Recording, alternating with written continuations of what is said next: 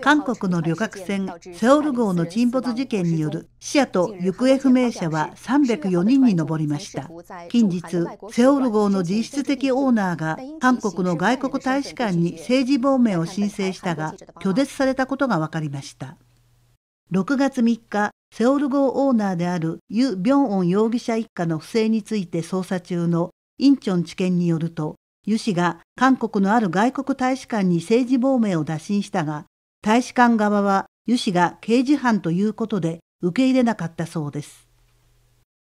インチョン知見によると、ユ氏は単なる刑事犯に過ぎないため、政治亡命の対象にはならないとのことです。国際法に基づくと、ユ氏は難民には当てはまりません。捜査当局からはすでに指名手配されており、現在逃亡中です。乗客乗員476人を乗せていたセオル号は4月16日午前、韓国西南部のチンド海域で沈没し、288人が死亡、16人が行方不明、救助されたのは172人のみでした。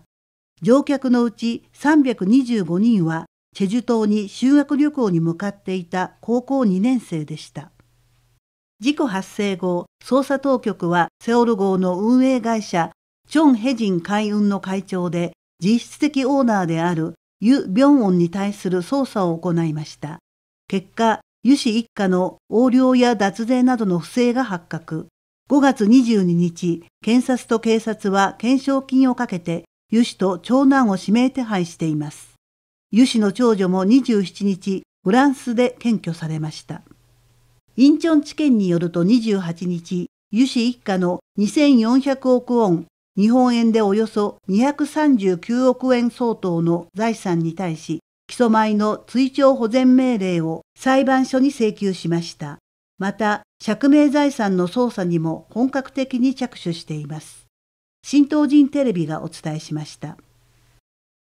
这是新传记者最新的结果的报道。听到妈妈被打，你是来追的？为什么奥运火炬的传递？当地星期五公布的。有人说他是专制统治，正处于危险期，就是行大于家嘛。